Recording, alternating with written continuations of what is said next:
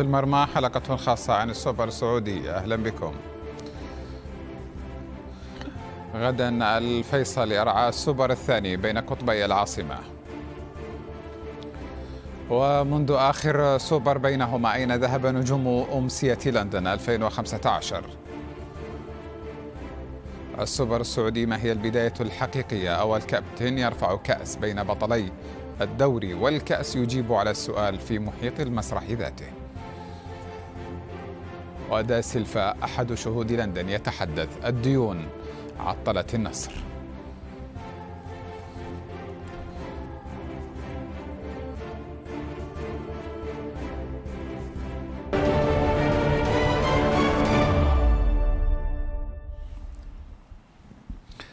السلام عليكم. يرعى الأمير عبد العزيز بن تركي الفيصل. وزير الرياضة مساء السبت بطولة كأس السوبر السعودي لكرة القدم بين فريقي الهلال والنصر والمقرره في استاد الملك فهد الدولي في الرياض ذلك في الثامنة والربع مساء توقيت العاصمة الرياض.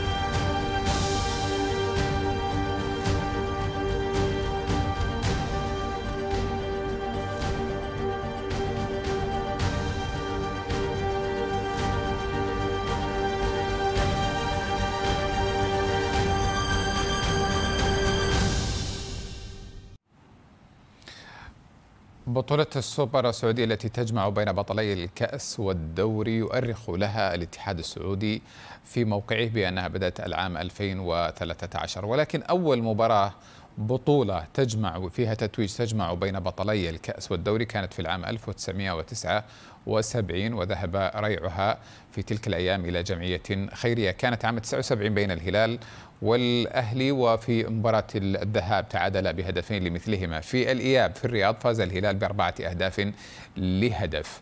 قائد الهلال في ذلك الوقت كان هو الكابتن الحارس إبراهيم اليوسف. سألناه قبل المباراة قالوا لكم هل هذه مباراة سوبر أم مباراة خيرية؟ فأجاب.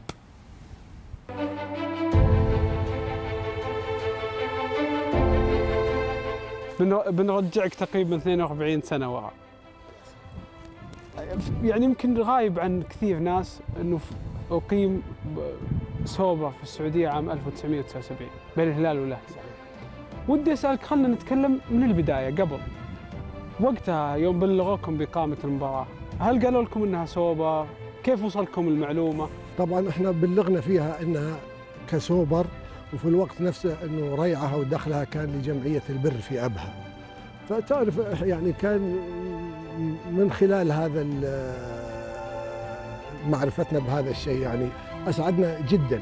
يعني وخاصة إن الأهلي في هذاك الوقت يعني ولا زال ولله الحمد يعني كان يعني الفريق المنافس وكان الفريق الحقيقة يعني من الفرق اللي دائما إنه وياه تقريبا في النهائيات على البطولات.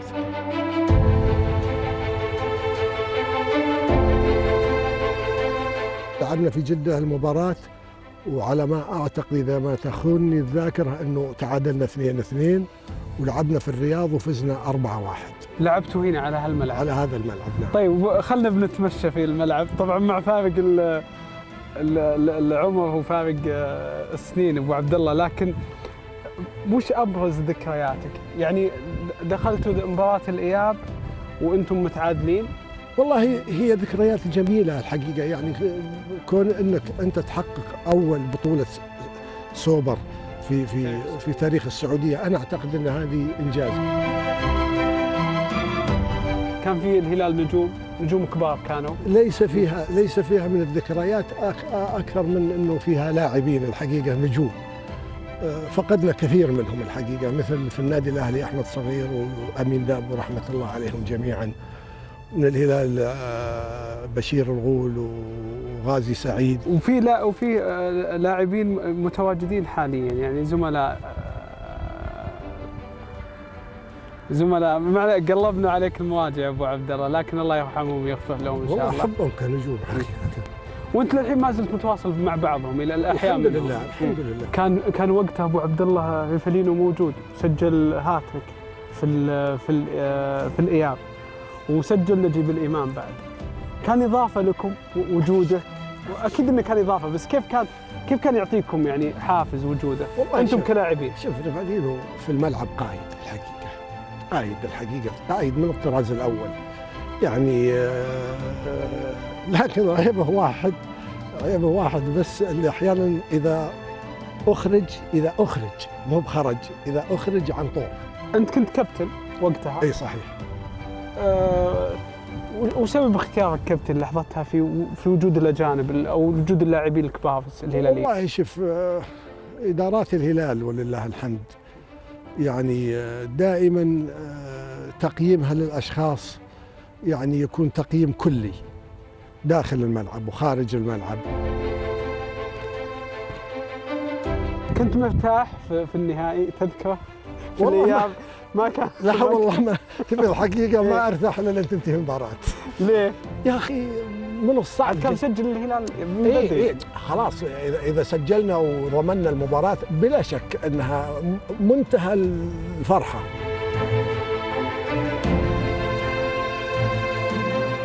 أبو عبد الله في أشياء إلى الآن موجودة في الملعب ما تغيرت؟ موقعه موقع بس. لكن تغير كثير. ما شاء الله الكراسي وال ال- ال- ال- ال- ال- الجودة العالية في في في في الأرضية وفي ال- إضاءة. وفي الإضاءة وفي التجهيزات الحقيقة مختلف تماما تماما. طبعا طيب لا مقارنة. أبو عبد الله من وقتكم إلى الآن والهلال يحب يلعب في الجهة الجنوبية. لأنها قريبة من جمهوره. لا. إيوه من قلب ميال. لما تجي أحد يتداول كأس السوبر في السعودية يذكر من 2013 ما حد يذكر آه، 1979 أنا وش تعليقك عليها حتى خصوصا إنه يعتبر إنجاز شخصي لك أنت اللي كنت حملت ال- والله الكاف. أنا لا ألقي اللوم على الجيل الحاضر لأنه ما شاهدها. ما كان يعني شاهد على على العصر في ذاك الوقت. لكني أنا أحمل الموثقين التاريخيين. ابو عبد الله طبعا الحين أنا وياك نصعد ال- المنصة. صعدتها قبل 42 سنة. ما شاء الله. لا تكبرني. من هنا طلعت على على على العموم المن- المنصة. تغيرت؟ تغيرت تغيرت إيه. من ناحية بعض ال- لكن الإضافات. إيه. الإضافات بلا شك.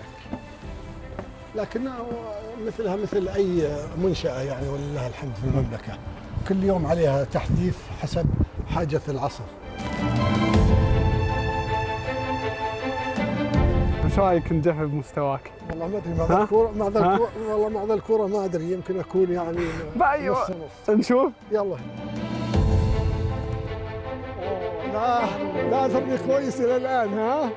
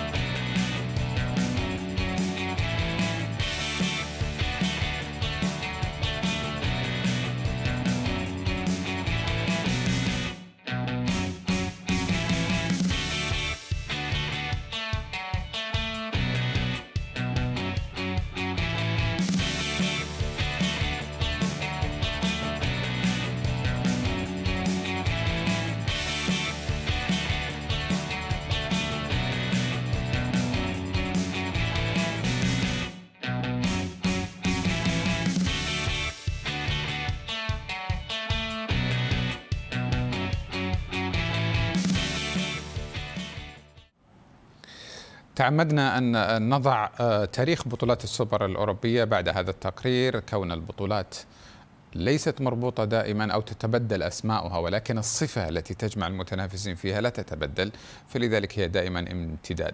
الاتحاد السعودي لكرة القدم كما قلت يعترف أو يوثق على حسابه من 2013 فقط السوبر. لكن هذه كأس لماذا يحرم آه، إبراهيم اليوسف مثلا من إنجاز آه، كهذا في تاريخه الرياضي. نستمر في تقليب صفحات السوبر حاضرا وماضيا ووقفة أولى نعود معكم بعدها لنتابع حلقة هذا المساء وفيها. دا سيلفا آخر مدرب خسر السوبر بالنصر يقول 2015 عطلتنا الديون. وبعد أمسية لندن أين ذهب نجوم ذلك اللقاء؟ تقرير استقصائي.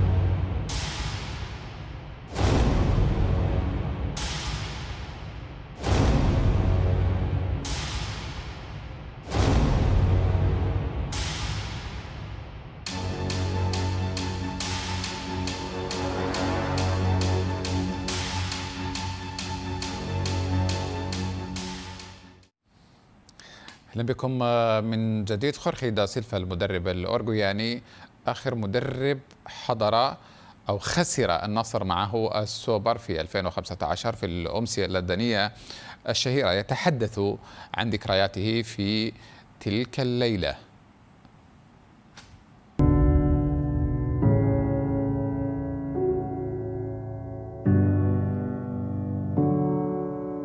الخير آه، سعداء باستضافتك وظهورك معنا للحديث عن مباراة السوبر بين الهلال والنصر. آه، في البداية كيف كانت ذكرياتك مع مباراة النصر والهلال آه، الأخيرة في السوبر 2015 يسعدني أن أستقبلكم هنا في مكان عملي. الحقيقة هي أن الحديث دائما عن لقاءات النصر والهلال يجلب لي الكثير من الذكريات الرائعة. رغم أن هذه ليست الذكرى الأجمل لأنه للأسف خسرنا المباراة لكنها كانت مباراة خاصة لعبت خارج السعودية وتمت إقامتها في بداية الموسم. نعتقد أننا وصلنا لتلك المواجهة ولم نكن على أتم الاستعداد وكانت لدينا الكثير من الغيابات. كنا نفتقد بعض الأجانب. حقيقة كان الهلال أفضل تنظيما وفاز علينا. كانت مباراة صعبة ومباراة جميلة في نفس الوقت حيث لعبت أول مرة خارج السعودية. كانت هناك جماهير كثيرة في لندن مع توقعات كبيرة قبل المباراة. الحقيقة كانت تجربة جميلة. للأسف لم نمنح جماهير النصر فرحة الاحتفال بلقب آخر. هل بالفعل إعداد الفريق كان ضعيفا في تلك المباراة؟ نعم لم نكن على استعداد جيد. كانت هناك الكثير من الغيابات في الفريق. كما كانت هناك مشاكل في التعاقدات مع بعض اللاعبين المحليين.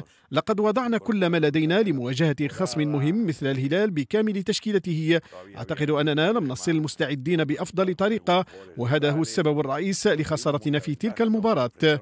يقال أن تلك المباراة دمرت النصر دمرت موسم النصر وكانت سبب إقالتك من الفريق. Salir campeones. لقد قضينا موسما رائعا بعد تتويجنا بالدور على حساب الهلال. ومن المنطقي أن خسارة السوبر أثرت بشدة على مجلس الإدارة بأكمله. وفي ذلك العام أعتقد أنه كان هناك أيضا العديد من المشاكل في الفريق. مشاكل مثلا في العقود والديون مع اللاعبين كما كان هناك الكثير من القلق لدى اللاعبين تجاه مستحقاتهم وجعلت بداية الموسم ليست الأفضل. لذلك قد يكون هذا أحد أسباب تركنا للنادي. ما الفرق بين النصر في تلك الفترة والفريق الحالي. أظن أن الفارق الكبير يكمن في أن السوبر هذه المرة يقام في منتصف الموسم والفريقين جاهزين للموعد كما أن هناك عدد أكثر من اللاعبين الأجانب في كل فريق. ربما يكون الهلال أفضل من النصر في الفترة الحالية.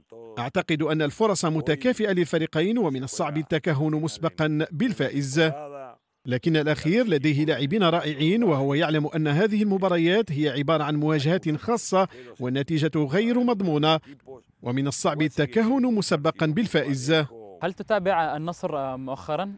وما رأيك في إقالة روي فيتوريا؟ Sí, lógicamente que sigo, sigo al Nasser porque نعم بالطبع ما زلت أتابع النصر وأكن له حبا كبيرا لأنه كان أول نادي أتيت من خلاله للعمل هنا في الخليج في عام 2009 في وقت لم تكن فيه الأمور جيدة لكننا قمنا بعمل رائع منحنا إمكانية العودة للفريق في 2015 والتتويج بلقب الدوري. أعتقد أن روي فيتوريا قدم عملا جيدا مع الفريق لقد كان بطلا لكن للأسف كرة القدم متفوقة على النتائج والنتائج في الأخير هي من تحدد مستقبلنا كمدربين. من اللاعب الذي لفت انتباهك؟ النصر لديه فريق رائع ويملك لاعبين محليين وأجانب ممتازين. أعتقد أن من بين آخر التعاقدات كان الأرجنتيني بيتي مارتينيز وبالنسبه لي فهو لاعب موهوب. لم يقدم بعد أحسن مستوياته وربما يحتاج لوقت أطول للتأقلم مع النادي وتقديم الأفضل. ما رأيك في الدوري السعودي مؤخرا؟ أعتقد أن الدوري السعودي هو من أقوى الدوريات في المنطقة لديه فرق رائعة وتملك إمكانيات كبيرة اليوم كل المنافسين أقوياء وحقيقة أن امتلاك الفريق لسبعة لاعبين أجانب ساعد كثيرا على تطور المستوى ختاما من هو الفريق الأفضل حاليا؟ ومن هو الذي سيكسب السوبر الهلال أم النصر؟ أعتقد أننا نتحدث عن اثنين من أكبر الفرق في السعودية صراحة في الوقت الحاضر. الهلال أفضل قليلا من النصر لأنه في أول ترتيب الجدول في الدوري. بينما النصر فقد العديد من النقاط في البداية. الفريقين رائعين وأتمنى أن يفوز النصر لأنه يملك أيضا كل المعطيات لذلك. لكن مثل هذه المباريات صعبة للغاية ويمكن أن يحدث فيها أي شيء. وأتمنى أن يكون اللقب نصرويا ويعوض الفريق خسارته في 2015 entonces cualquier cosa puede pasar. Ojalá que دا سيلفا ككل المدربين أحبه النصراويون في البداية ثم طالبوا بإقالته في النهاية. هكذا هي علاقة الجمهور دائما بالمدربين يحكمها الفوز والخسارة ولا يحكمها العقل. ونذهب إلى الرياض من هناك عادل البطي. صالح المطلق يلتحقان بنا من الرياض. صالح مساء الخير. عادل مساء الخير. ببدأ من عندك صالح. يعني حديث دا سيلفا يقول لم نكن جاهزين. كانت الديون والمشاكل تحاصر النادي آه، ما أشبه الليلة بالبارحة في النصر. الآن في 2015 كان هذا الحديث الآن في 2021 من هو الأجهز قبل هذا السوبر؟ ما نبغى ندخل في الأمور الفنية لأن بكرة بنحلل وندخل في الأمور الفنية بشكل كبير. في الإطار العام. آه، بسم الله الرحمن الرحيم. أهلا بالتال واهلا بالساده المشاهدين واهلا بحبيبنا كابتن عادل. والله برضه هو جاوب وقال لك في الأخير كل الفريقين كبار والنتيجة يعني متاحة للجميع. خليني أقتبس هالإجابة وأكررها. طيب آه، صالح خارج الملعب هل سيؤثر غدا على داخل الملعب؟ له تأثيراته لكن ما مداها. آه والله يعني بالتالي ال- إذا زادت الأمور عن حدها أكيد تنعكس على داخل الملعب.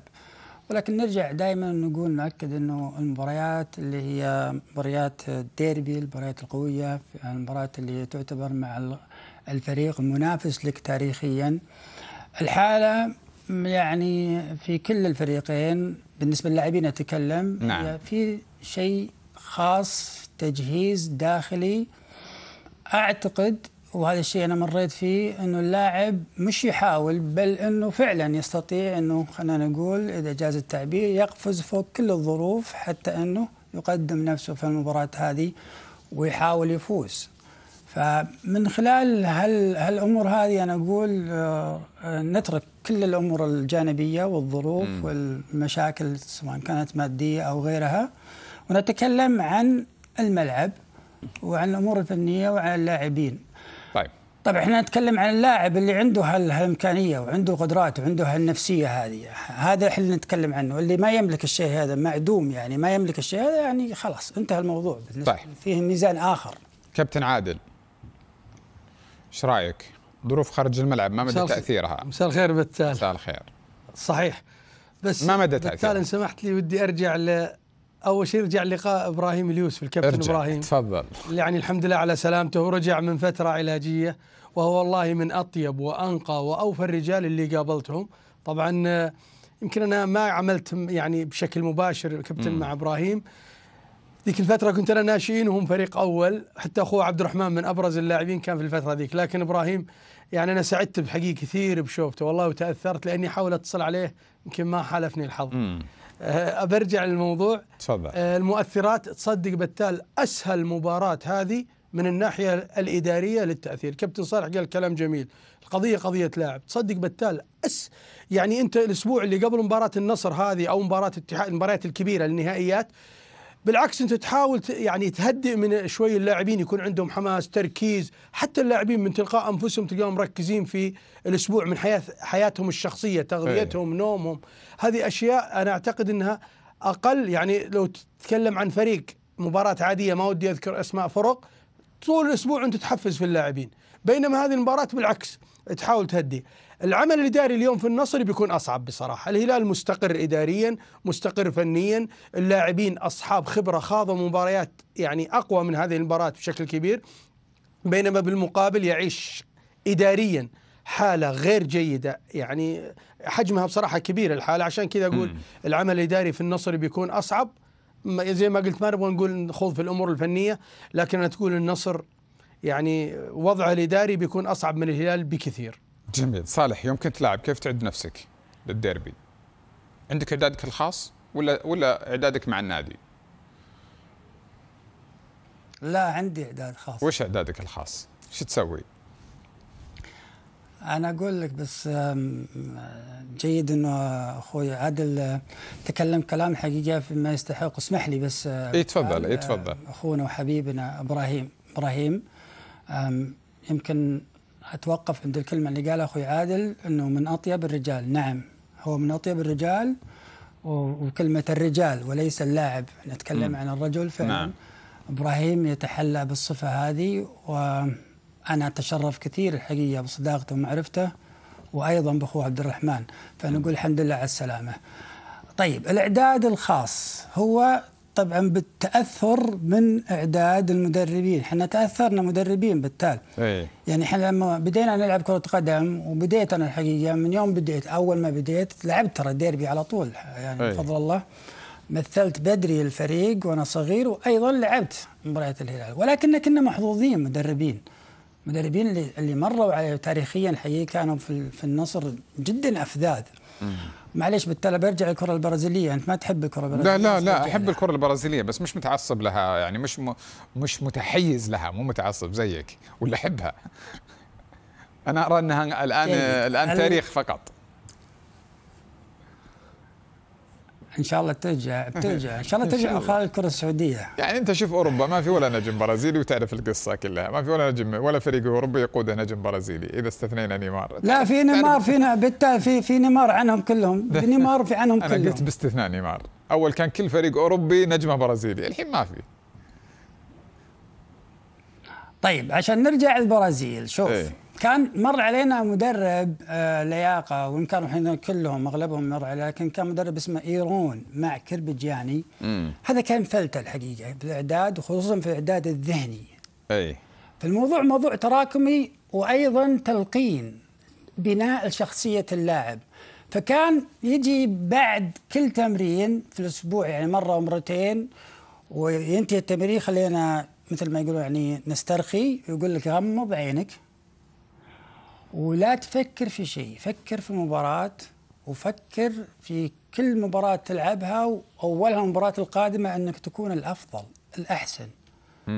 هذه الأمور التراكمية أو خلينا نقول الخيال اللي اللي تسرح فيه أيضا يكمله هو قبل المباراة ويمسك أو يمسك اللاعبين خذوا نفس عميق خذوا عطوا أنفسكم حيز كبير للاستمتاع اتركوا الأمور الجانبية. أنت عليك بما يخصك أنت داخل الملعب.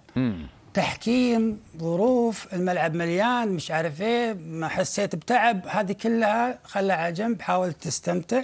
نعم. وأيضا عط نسبة كبيرة لمحاولة الإبداع داخل الملعب. طيب. هنا قاعد يبني فيك شخصية وقاعد يرتب أمورك كلاعب إنك تواجه المباريات الصعبة مثل هذه وغيرها أيضا بشخصية وبذهنية متفتحة زين. وجاهزة للعب المباراة. ولا ولا ولا هنا ما يتعب المدرب أو غيره انه جت قبل المباراة تعال نعدك وتعال خذ 10000 ومش عارف إيه ومجموعة ناس على البنش جايين أعضاء شرف. هذا كله جيد ما أقول مش جيد. لكن اللاعب نفسه لما يكون مثل ما سألتني أنا خلاص بعدها أخذت الدرس ولا أنا لحالي كل الشباب أو كل العيال اللي كانوا المجموعه اللي معنا وصرنا نعد أنفسنا. حتى إني أتذكر يمكن أخوي محيسن أتذكر إن كنا نطلق أسبوع اللي قبل مباراة الهلال أسبوع التحفز أو أسبوع اللي هو يعتبر فيه استنفار كل واحد. نعم. يحفز نفسه بنفسه ويعد نفسه. طيب. طولت أنا بالإجابة لكن اسمع. لا لا كلام زين وجميل ومفيد. وعادل مستمتع بعد إن أخذنا من وقته شوي. ك- كابتن آسف يا عادل آسف يا عادل. لا لا الوقت لكم كلكم أنا امزح يا صالح الوقت مع بعض ما في أحد محدد. آه كابتن عادل من من الأكثر آه في ظنك في الإدارتين الحالية القدرة على تجهيز فريقه بالأسلوب الاستنفاري وال وال وال والحصيف زي ما قال صالح اللي كان أيام زمان. يوم كان فيها هالكورة. هو صراحة أنا بتال مستمتع وفعلا قال الكابتن صالح نفس الكلام اللي قلته الأسبوع اللي قبل يعني هو خاض تجربة حقيقية. بدون شك أنا في رأيي الهلال مهما حاول تستنهض همم اللاعبين هم أصلا يعني أصحاب خبرة. يعني لو أقول لك الأسماء اللي بتشارك بكرة من الهلال من المواطنين أو بعد بكرة أو بكرة طبعا الحين دخلنا في يوم جديد. إيه. أكثرهم لعبوا أصعب مباراة في الحقبة الأخيرة يعني في مباراة اليابان أمام المملكة اللي كنا صحيح. لازم تأهل كأس العالم ونتطلب الفوز. لعبوا من المعيوف إلى س... يعني أكثر اللاعبين كلهم كأس الأندية. برضو دوري الأبطال. اليوم صحيح. الآن في الهلال اكتسبوا خبرة مباريات أكثر. إذا إذا قلنا استفزاز استفزاز أو محاولة استنهاض همم اللاعبين أنا أعتقد موجودة في النصر آه، بتكون أكثر. ليش؟ لأنه في الهلال صحيح موجود الكابتن فهد المفرج سعود كريري لأن اللاعبين أصحاب الخبرة في الهلال أكثر من لاعبي النصر. اليوم لو تشوف حتى لعيبة النصر أكثرهم خبراتهم يعني ما زالت أقل ما شاركوا في مباريات قوية بين الهلال والنصر بشكل كبير، أكيد في أحد شارك على هذا المستوى لكن أقصد بالعموم في السنوات يعني متأكد اليوم في الليل مثلا وهو نايم بعض لعيبة الهلال يمكن يكون فيه استرخاء وهدوء شوي. نعم. بينما النصر أكيد عنده تفكير عميق. اذا مدرب الفريق والكابتن حسين عبد الغني بيكون له دور كبير أعتقد في هالمرحلة تحديدا. يعني أكثر من آه، كريري أو حتى فهد المفرج آه، في الهلال. عشان كذا أنا أقول ال- الناحية الإدارية في النصر يحتاجها الفريق أكثر من الهلال في اليومين القادمين هذه. صالح شلون تفوز في هالمباراة؟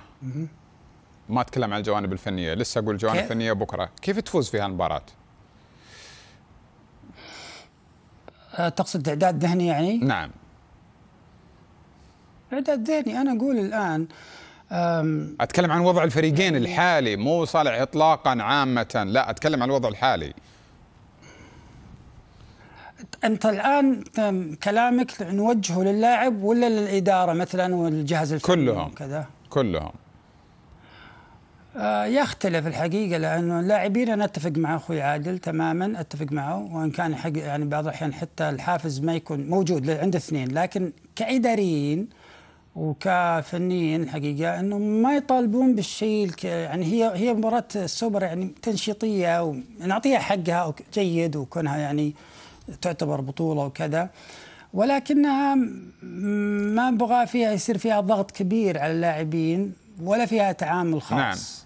أعتقد بالشكل هذا يعني يتركون الأمور طبيعية لو يتركوا الأمور طبيعية أنا متأكد اثنين الطرفين الطرفين يتركون الأمور طبيعية الحقيقة ممكن تظهر المباراة بشكل جيد و... طيب. وكل مباريات الهلال والنصر بش... تظهر بشكل ممتاز الحقيقة عادل شلون تفوز في هالمباراة؟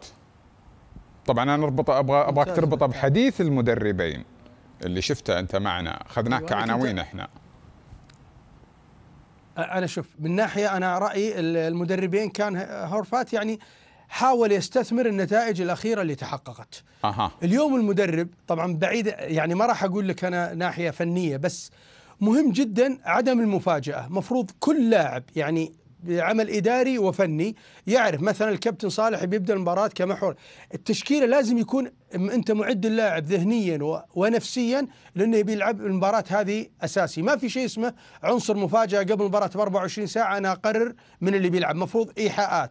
ويعني معلومة حقيقية لكل لاعب إن عندك وتحفيز وتذكيرة في كل مناسبة. يعني مثلا كمثال مثلا في فترات سابقة مثلا عبد الله الزوري مثلا في الهلال دائما موفق أمام النصر أنت تسجل رغم إنك مدافع يعني في كلمات تذكير بالإيجابيات وحاول يعني إبعاد السلبيات اللي تحدث في مثل هالمباريات. أنا أتكلم عن أشياء خارج الملعب. مم. أساعد المدرب في بعض النقاط اللي هي خارج الملعب الحالة النفسية لكل لاعب. نعم. اشياء هذه أنا أعتقد إنها مهمة لكي يتحقق الفوز لفريقك. شكرا عادل بطي شكرا صالح المطلق. أول سوبر بين قطبي العاصمة كان قبل ستة أعوام في أمسية لندن الشهيرة العام 2015 منذ ذلك التاريخ أين ذهب نجوم تلك الحفلة؟ لندن عاصمة بريطانيا ومدينة الضباب النصر بطل الدوري يلاقي الهلال بطل كأس الملك في أول مباراة سوبر سعودي تقام خارج الحدود.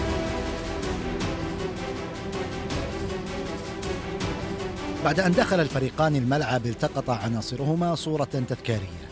ضمت طاقم التحكيم الإنجليزي و22 لاعبا منهم أربعة فقط يواصلون تمثيل الهلال. هم سلمان الفرج وياسر الشهراني ومحمد البريك ومحمد جحفلي. فيما غادر الفريقين 18 اسما آخرا أولهم البولندي أدريان ميرزيفسكي بعد أن أكمل مع الأصفر العاصمي ذلك الموسم قبل أن ينتقل إلى الشارقة الإماراتي ثم تكون آخر محطاته في الصين. الكوري كواك هو الآخر ترك الهلال في نهاية ذلك الموسم وبعد أربعة مواسم في بلاده علق الحذاء في ديسمبر الماضي. الخميس الثامن والعشرين من يناير أعلن عن انضمامه للطاقم التدريبي لنادي تشينغ دو الصيني. البحريني محمد حسين هو الآخر ترك النصر بنهاية ذلك الموسم. وبعد أن مثل نادي الرفاع في بلاده انتقل ليمثل الأهلي البحريني ويواصل معه حتى الآن. عبد العزيز الجبرين بقي مع النصر حتى نهاية أكتوبر الماضي قبل أن يرحل إلى نادي الاتحاد وهو كذلك ما فعله زميله في النصر عمر هوساوي في الموسم الحالي أيضا حيث يلعب الآن في الاتحاد. البرازيلي ديغاو في منتصف 2017 ترك الهلال انتقل إلى الشارقة الإماراتي وبعد تجربتين في بلاده انتقل أخيرا إلى نادي بوريرام التايلندي ويواصل تمثيله للموسم الثاني توالي. محمد السهلاوي ترك النصر بعد هذه المباراة بأربع سنوات راحلا إلى الشباب ثم انتقل إلى التعاون الذي يمثله للموسم الثاني على التوالي. كارلوس إدواردو نجم الهلال صافح جماهير فريقه في تلك القمة بتسجيل هدف الفوز فأصبحوا يسمونه سوبر إدواردو لعب للفريق حتى نهاية الموسم الماضي قبل أن ينتقل ليمثل شباب أهل دبي هذا الموسم. يحيى الشهري يلعب الآن نظريا للنصر إلا أنه لم يمثل الفريق في أي مباراة منذ ظهوره في مباراة الهلال الدورية في أكتوبر الماضي. البرازيلي إلتون ألميدا ترك الهلال بعد عام وشهرين عن المشاركة في هذه المباراة. هو الآن يلعب لنادي أورغريتا السويدي بعد أن لعب قبلها في الإمارات موسمين مع الجزيرة ثم الظفر. بعد ثلاث سنوات من هذا اللقاء غادر حسين شيعان نادي النصر إلى التعاون وهو يمثله منذ 2018 شايع شراحيلي ترك النصر في يناير 2018 رحل إلى القادسية وبعد أن أوقف عاما كاملا عن لعب كرة القدم في قضية منشطات عاد ليمارس اللعبة إلا أنه الآن يمثل الفيصلي منذ بداية الموسم الجاري. محمد الشلهوب. أكمل خمسة أعوام بعد هذه المباراة مع الهلال قبل أن يرضخ أخيرا لطلبات البندري وعزيزة ابنتيه ويقرر اعتزال لاعب كرة القدم. أحمد عكاش لعب للنصر هذه المباراة كأول ظهور رسمي له مع الفريق. واصل اللعب له حتى أكتوبر الماضي قبل أن يوقع لنادي الكوكب الذي يلعب في الدرجة الأولى. الأوروغوياني فابيان ستويانوف ترك النصر بعد هذه المباراة بقرابة شهر. حولته إدارة النادي إلى لاعب استثمار قبل أن يعود إلى بلاده. الآن وبعمر الثامنة والثلاثين هو يلعب لنادي البينارول في بلاده. خالد الغامدي ترك النصر بعد هذه المباراة بثلاث سنوات ونصف. انتقل إلى الرائد ثم الفيصلي ثم الشباب. الآن هو يتغيب عن مباريات الفريق بسبب الإصابة. خالد كعبي يلعب الآن للفيصلي. هو أمضى في صفوف الشباب موسمين بعد انتقاله إليه من جاره الهلال في 2017 حارس الهلال يومها كان خالد شراحيلي. لم تستقر مهنته مع الفريق الأزرق. هو الآن يلعب مع نادي ضمك بعد أن كان لعب لأندية الرائد والفيصلي وأحد في السنوات الأربع الأخيرة. على دكة النصر كان الأوروغوياني دا سيلفا بعد هذه المباراة بشهرين أقاله النصر. عاد إلى بلاده قبل الرحيل إلى كولومبيا. هو الآن في الإمارات مع اتحاد كلبا. يومها كان يدرب الهلال اليوناني دونيس بعد عشرة أشهر من هذه المباراة أقاله الفريق الأزرق. تنقل بعدها في عدة محطات بين الإمارات وقبرص واليونان وأخيرا مكابي تل أبيب الإسرائيلي والذي قرر إقالته في ديسمبر الماضي. رئيس النصر كان الأمير فيصل بن تركي في مطلع 2018 أقيل من منصبه. أما رئيس الهلال يومها فكان الأمير نواف بن سعد في أبريل 2018 استقال من منصبه رئيسا للنادي العاصمي بعد التتويج بلقب الدوري ذلك الموسم. محمد القناص العربية.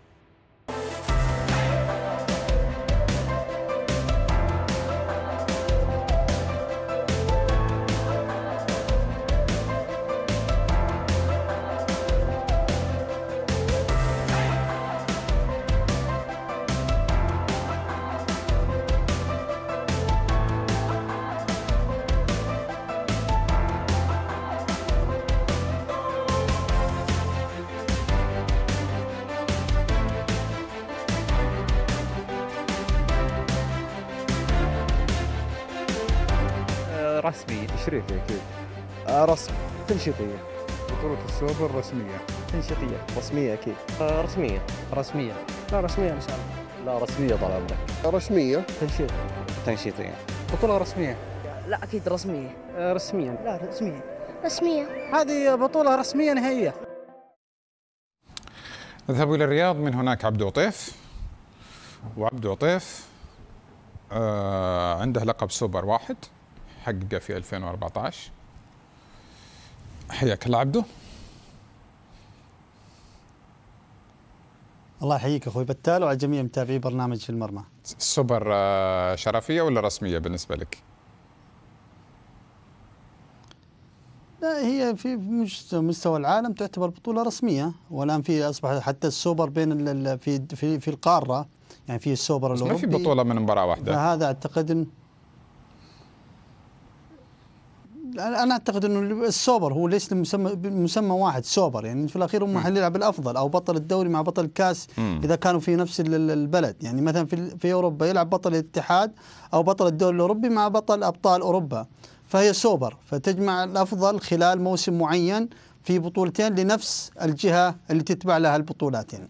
فهي أنا اعتقد إنها بطولة رسمية يعني. في الأخير تعتبر هي رسمية. بطولة رسمية بس هي يعني تبدو ما ما حد قال إنها مو رسمية بس إنها هي يعني أقل البطولات حدة وتنافسا. كونها يعني تبدأ دائما تكون بداية الموسم للتنشيط آه، تنشيط الموسم. بس مع ذلك صح. أنت فرحان أشوف التتويج يعني ما كأنها ش- شرفية. مرة فرحان أنت هنا.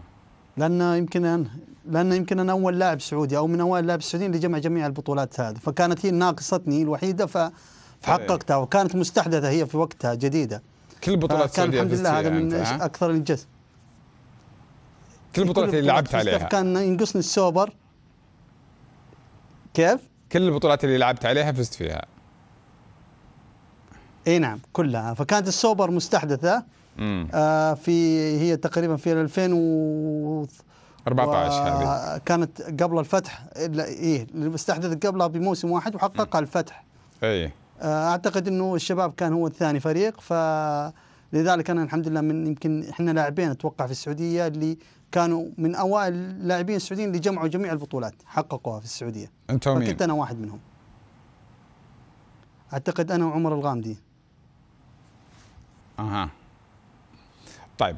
آه، آه، آه، يعني مثل مثل هذه البطولات من آه، مباراة واحدة إعدادك النفسي لها كان عادي؟ آه، كان في تحفيز آه، إضافي أكثر من المباريات الأخرى ولا ادخلوا الملعب يا شباب استمتعوا شوف. بداية موسم لأنها هي دائما تقام بداية الموسم العبوا متعوا الناس طبعا أنا بمجمل البطولات النهائية أو اللي تقام على فاينل أنا في طبعي إني أكون مستمتع فيها بشكل كبير.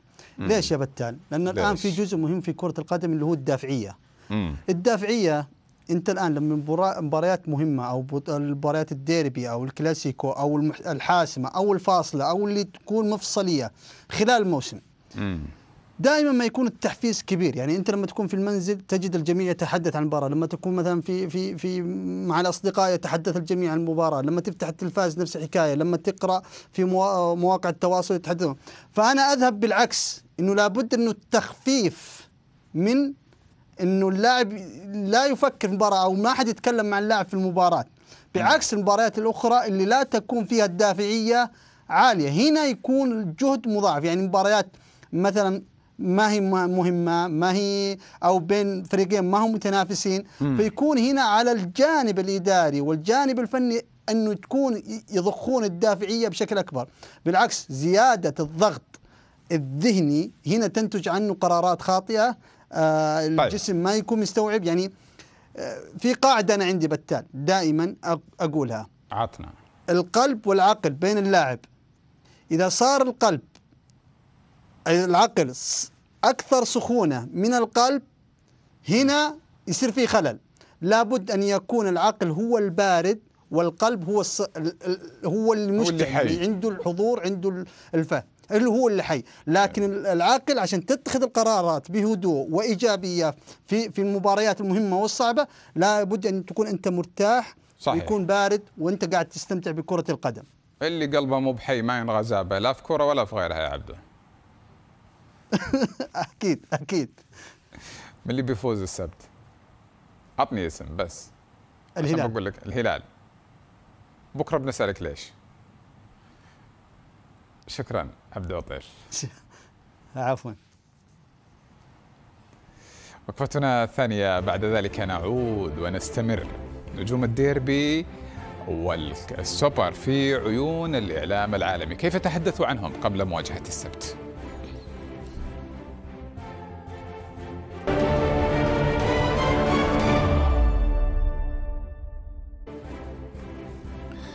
أهلا بكم من جديد. أذكر بأنه غدا في نشرتنا سيكون لدينا تغطية موسعة للديربي السوبر. هذه المرة بين قطبي الرياض سيكون لدينا أيضا حديث عن الحكام في هذه المباراة تحديدا. أما نجوم الديربي المرتقب فوسائل إعلام بلادهم أيضا تابعتهم قبل السوبر الديربي.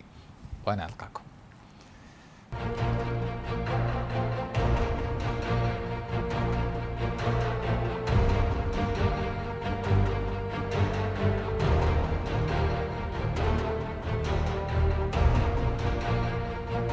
الأيام القليلة الماضية شهدت تفاعلا كبيرا وتغطية واسعة من قبل الصحف والمواقع الأجنبية لأخبار محترف الهلال أندري كاريو مرة كبطل دعائي مضحك لسلسلة مطاعم متخصصة في بيع الشاورما.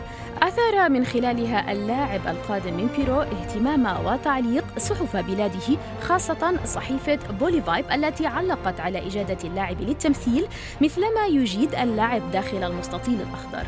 متمنية له التوفيق في مغامرته المقبلة بكأس السوبر. أما صحيفة الكوميرسيو فحضور اللاعب كان عبر مقارنة مع مواطنه القادم الجديد للفتح كريستيان كويفا وتطرق إلى إنجازات وألقاب كاريو مع الهلال السابقة والمرتقبة ككأس السوبر السعودي المقرر يوم السبت المقبل. إلى جانب الحدث الذي ينتظره الشارع الرياضي البيروفي ويجمع بين اللاعبين في الثامن والعشرين من فبراير المقبل بدور المحترفين. بعض وسائل الإعلام وجهت أنظارها في الساعات الأخيرة نحو الإيطالي سيباستيان جوفينكو بعد أن كثر الحديث عن انتقاله إلى أمريكا وتحديداً إلى نادي لوس أنجلوس جالاكسي. وسائل الإعلام اختلفت بين مؤكدة للخبر وأخرى نافية إلا أن جميعها مثل موقع وان سوكر الكندي وتوتوجوف الإيطالي اتفقت على أن جوفينكو لن يغادر الأراضي السعودية قبل أن يشارك في تحديه المقبل كأس السوبر السعودي أمام النصر. ورغبة النملة الذرية في إضافة لقب آخر إلى خزائنه المغرب كان أيضا حاضرا في تغطية أخبار لاعبيه. صحيفة مجرس نشرت الخميس خبرا بعنوان هذا ما ينتظره أنصار النصر من برابط مشيرة فيه إلى تراجع أداء اللعب مقارنة بالعام الماضي ورغبة عشاق الأصفر العاصمي لعودته إلى سابق عهده أمام الهلال في السوبر السعودي. أما عن مواطني حمد الله فعناوين أخباره تمثلت بحمد الله في السعودية بعد إتمام رحلة العلاج. السوبر رهان حمد الله لاستعادة توهجه. عناوين كشفت جاهزية المهاجم النصراوي للقاء السوبر والتي سيلعب فيها لأول مرة تحت قيادة المدرب هورفات ديما محمد السائح العربية.